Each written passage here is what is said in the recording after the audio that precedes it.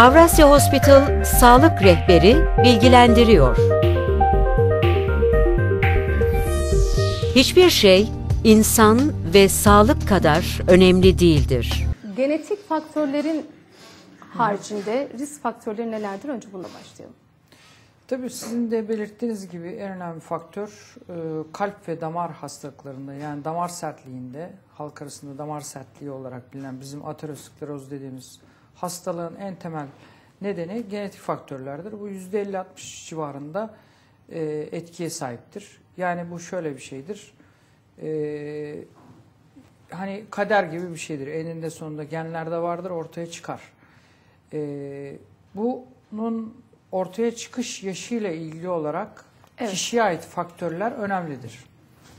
Biz bunu istersek e, yaşam biçimimizle, alışkanlıklarımızla, beslenme biçimimizle e, daha ileriye, daha geç yaşlara atabiliriz, daha erken yaşlara da alabiliriz. Şöyle ki Evet. e, genetik ailesel faktörü yani ailesinde damar sertliği sebebiyle e, kalp krizinden e, ölümler olmuş, e, kayıplar olmuş insanların e, işte kalp krizine yakalanma riski diye hiç olmayana göre yüzde 50-60 oranında daha fazladır.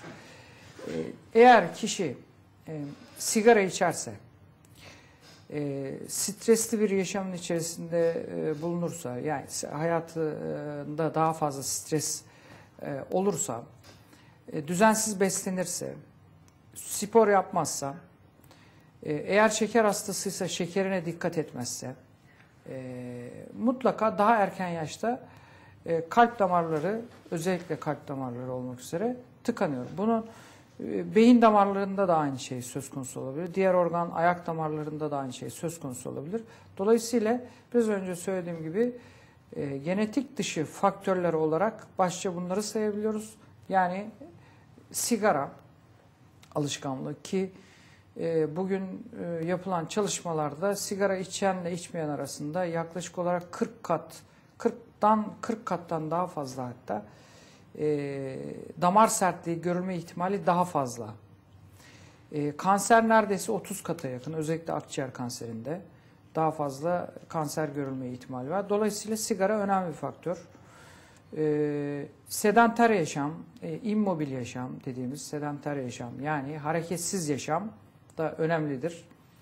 E, hareketsiz yaşam e, ki kilo artışıyla, e, kan şekeri e, dengesizlikleriyle ki bizim metabolik sendrom dediğimiz bir tablo vardır ki özellikle hanımlarda menopoz dönemi sonrası hanımlarda daha fazla da ortaya çıkan ve görülen e, içinde sedanter yaşamında önemli bir faktör olduğu bir tablodur bu.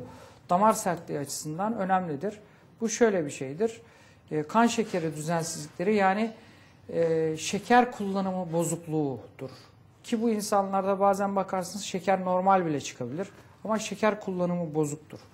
Bu da damar sertliğine neden olan faktörlerden bir tanesidir ki biz buna e, işte metabolik sendrom diyoruz. E, onun dışında e, yine bu e, sedanter yaşama alternatif olarak e, yani sedanter yaşam, e, immobil yaşamın e, kötü etkilerini ortadan kaldırabilecek şey düzenli egzersizle giden bir yaşamdır. Yani düzenli egzersiz yapan insanlarda e, bir takım bilimsel çalışmalar göstermiştir ki yapmayanlara göre yaşam 10 sene daha fazla uzuyor. 10 yıl kadar uzayabiliyor egzersiz yapanlarda.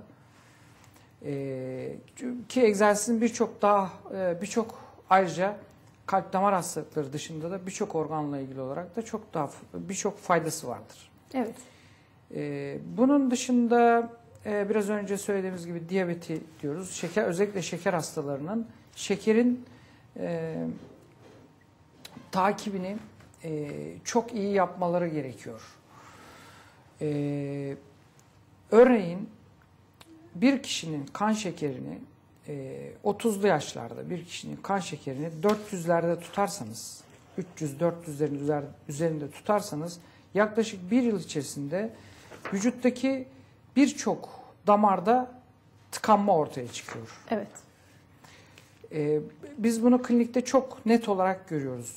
Ve maalesef şekere bağlı damar sertlikleri de yaygın damar hastalığı, bizim difüz damar hastalığı dediğimiz tarzda ortaya çıkıyor.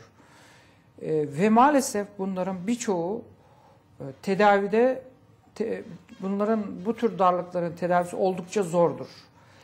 E, gerek stent takılması açısından gerekse bypass yapılması açısından oldukça zorlandığımız e, vakalardı. Dolayısıyla da e, şeker, diyabet çok önemli faktör ve diyabetin takibi çok önemli bir faktördür.